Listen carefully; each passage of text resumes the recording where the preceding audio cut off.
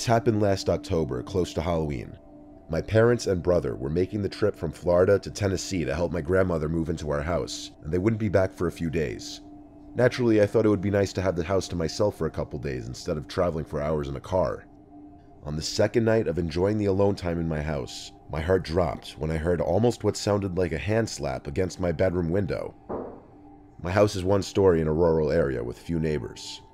After ruling out any animals or natural ways this could have happened, I decided to take a look for myself, so I moved the blinds to see if I could get a look at anyone running, hoping it was just a prank.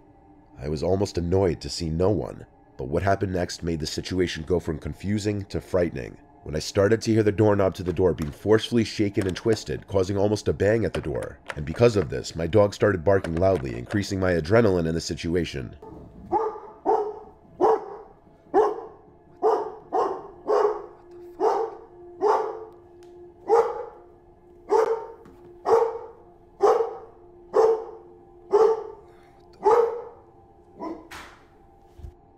Thinking it could still just possibly be a prank by one of my few friends that knew I was alone, I began recording a video on Snapchat to send to my friends so that I could maybe confirm it was one of them. The first video starts with me standing a few feet back from the door to see if I could record it being moved again, and eventually I try to record outside the glass doors. The video ends when I'm terrified to hear behind me that my screened-in patio back door was just forced open. Before I could even turn around, my phone drops to the floor, I send the first video to my three friends. Whoever this was behind my house still couldn't get inside, but it was freaking me out knowing they weren't afraid to try. I wait a few minutes, and two of my friends send snaps from their homes, claiming their innocence and asking to keep them updated. Still a little freaked out, I realized my last friend Logan had opened the snap but didn't respond, which ironically would be the one person out of my group to try something like this. Feeling more confident it was Logan, I decided to start a new video with flash on and try to take a look from the backyard if there was anyone in the open grass yard.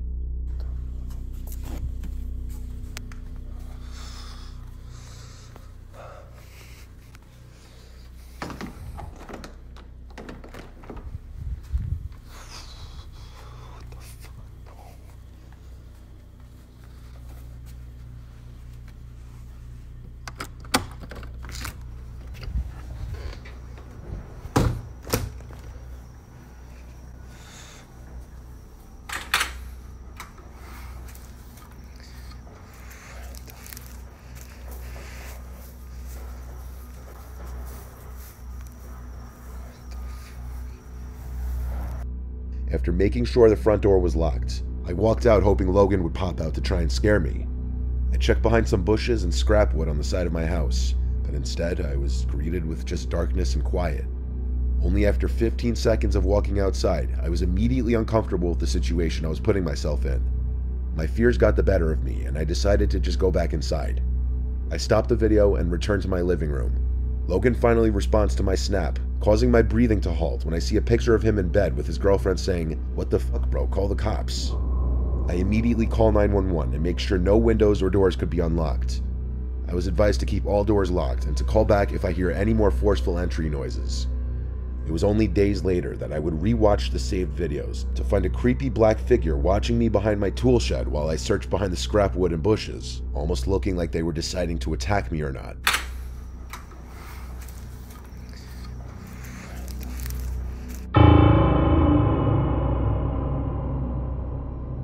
Seeing it for the first time, and even now, makes me want to throw up from fear. Nothing has happened since, but I still wonder how someone knew I was alone that day, and what could have happened had I made eye contact with the figure watching from the corner of that shed.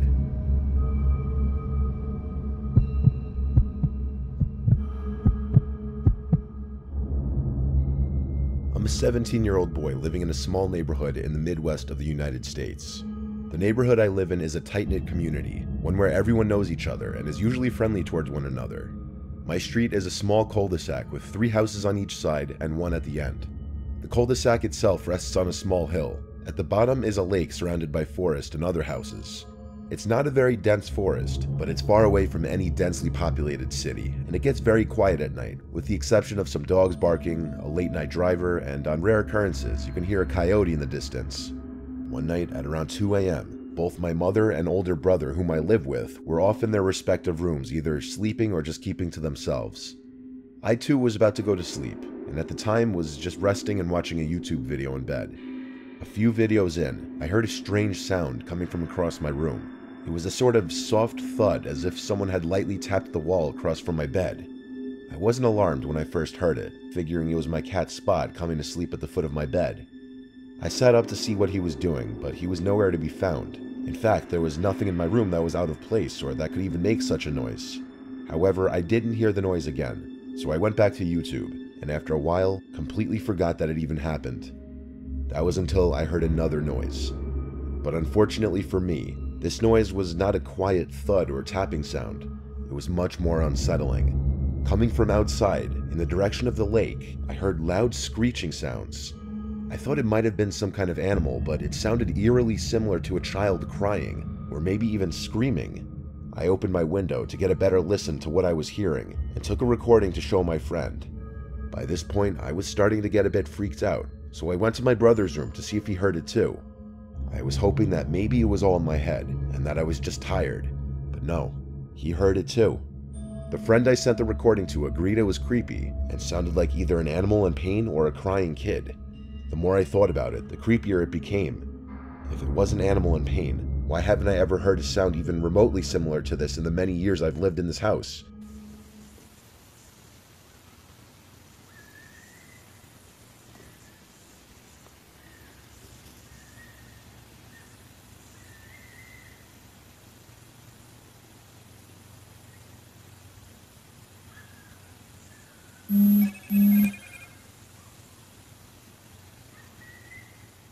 It didn't sound even remotely similar to a fox, coyote, or any animals I know about, and this forest isn't big enough for an animal much bigger than that.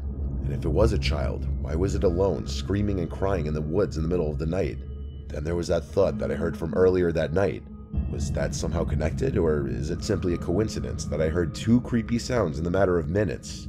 I haven't heard any kind of noises like that since, and by that I am glad. But to this day, it still creeps me out that none of us could truly figure out what could have created those sounds.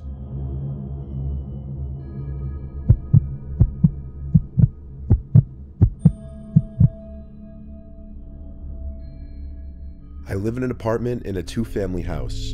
I'm on the lower level. The owner of the house, Rob, lives upstairs sometimes, but he has multiple houses, so he's not really here that often. Rob and I are pretty much friends by this point, so he tells me when he's going to be gone for extended periods of time. During the time of this story, Rob had told me he'd be gone for two weeks out of state. He told me this so that I would know that I could put both my cars in the driveway. I spend a lot of my nights in the living room reading. My level of the house has access to the back door and the deck outside, so you can probably guess where this story's going. I was reading my book on the couch in the living room by the lamp. Complete silence in the room, aside from the night crickets outside. Just the way I liked it. When bang. There was quite literally a bang on the glass of the sliding back door. I obviously jumped out of my skin. That door led to the backyard. Nobody should ever be back there knocking on it. I wondered if maybe Rob had returned early, but that didn't seem likely. It was just one distinct bang, though. It could have been a fox or a possum running into it by accident. Still, I got up to go check it out. I moved the sliding blind out of the way of the door and turned on the deck light. The deck was clear, though, as I thought it would be. I live in the calmest town ever anyway. Break ins are never heard of here. I close the blind on the door again, though, just because I do get a little uncomfortable with the idea in the back of my head that someone's outside in the dark just watching me. I think that's a pretty normal feeling. A while passed because I finished a whole nother chapter in my book when it happened again. This time, though, it wasn't just a singular bang, it was a bunch of deliberate knocks or bangs on the glass. It had to be a person. It went on for a bit, so I turned off the lamp, and this is where I picked up my phone and started recording.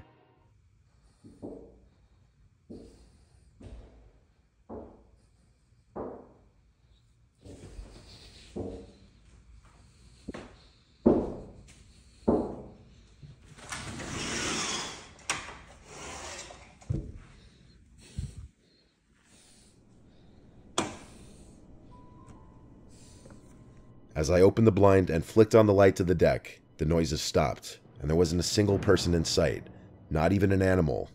I looked over the edge of the deck to see if maybe someone jumped over the railing. Nope, nothing. I didn't stay outside for long. I couldn't lock that door quick enough when I went back inside. By this point, I just went to my bedroom and shut the door and laid in my bed. I didn't know what the hell I had just witnessed outside, how there could be knocks at the door one second, then nobody there the next second. I was calling it a night. I wasn't planning on leaving my room again after that. I browsed Instagram and YouTube for a while on my phone, then turned it off and tried to go to sleep. Silence for the longest time. And then, right at the foot of my bed, there was a noise the sound of someone exhaling. I screamed and dove for the light switch, and when the light turned on, my room was empty. I stood paralyzed, breathing heavily for a moment, trying to comprehend what just happened. I searched under the bed and the closet, but there wasn't a soul in my room. I know what I heard though. It wasn't in my head, just like the door wasn't in my head. I slept in the living room after that, though I didn't feel much safer in there, fearing I'd hear bangs at the back door again. It was a relatively sleepless night for me. Rob told me he's never experienced anything like this, and he couldn't think of anyone who might have wanted to target him for anything. I never had believed in anything paranormal until that night. I haven't had any experiences that intense ever since, though.